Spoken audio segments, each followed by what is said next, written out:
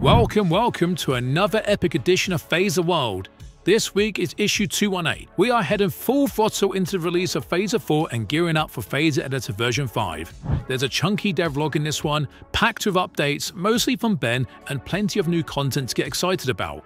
From tutorials to game showcases, let's dive into all the action this week. The big milestone this week is the release of Phaser version 4 Release Candidate 1. This version marks the transition from beta to RC status, meaning most of the major features are locked in and now it's all about polishing and testing. RC1 brings in all the latest fixes and fully syncs up with Phaser version 3.88 main branch. You could try it out in the Phaser sandbox or grab it from GitHub or NPM using the beta tag. The finish line is in sight. Now onto our Phaser Phaser Showcase this week, let's take a look at two featured games built with Phaser. First up, Hushain Driver by Neue System.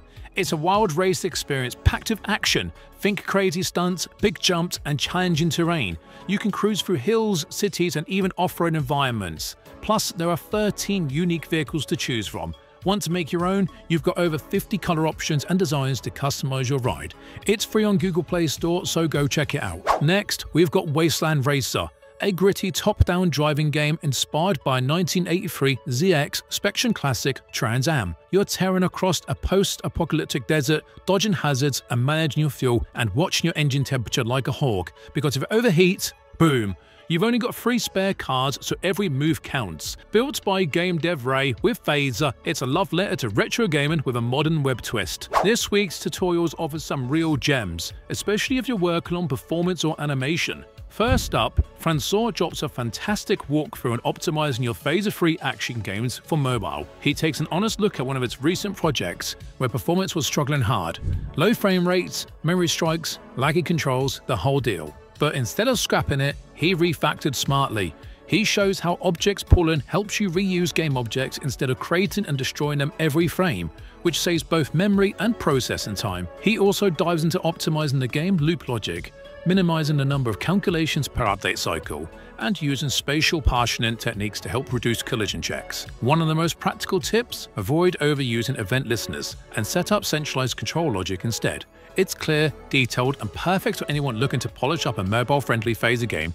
The results? A buttery smooth 60 FPS experience, even on lower-end devices. Next, we've got a deep dive into Spine 2D animation integration with Phaser. If you're tired of massive sprite sheets or want cleaner, more flexible animations, this tutorial shows exactly how to bring in Spine skeletal animation system. It covers everything, from exporting your character rigs in the Spine editor, loading the assets into your Phaser game, to playing and controlling animations in real time.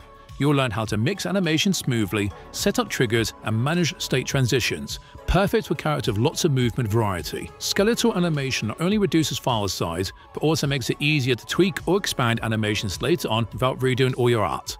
Plus, with Phaser 4 shaping up, knowing how to use Spine is going to give your game a real edge in terms of polish and performance. And if you hang around the Phaser forums, there's been a ton of great conversations lately, especially around optimization tricks like using web workers to offload heavy logic, custom shaders for effects, and how to use ECS patterns with Phaser. If you're more of a tinker and try dev, dive in and experiment with some of these ideas. Check them out. Now we get to hear what the studio has to say. This week's devlogs are especially beefy, with major updates from Ben, Arian, and and Zeke, let's break it down. Ben's devlog this week is a deep and technical look at what it took to get Phaser 4 RC1 ready. Here are the highlights. Snapshot unpremultiplication fixes those weird dark fringes around snapshot images. He explains how WebGL handles pre-multiplied alpha and how Phaser now unpremultiplies snapshots properly so exported textures look clean. Scissor updates. A bug was breaking camera rendering when filters were applied. It turns out WebGL scissor coordinates were getting cached in the wrong coordinate space.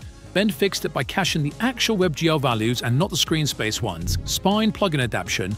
Ben hacks the Phaser 3 Spine plugin to run in Phaser 4's new renderer, adapting it with new render node systems. It wasn't easy, textures appeared upside down, state management was tricky, but he got it working.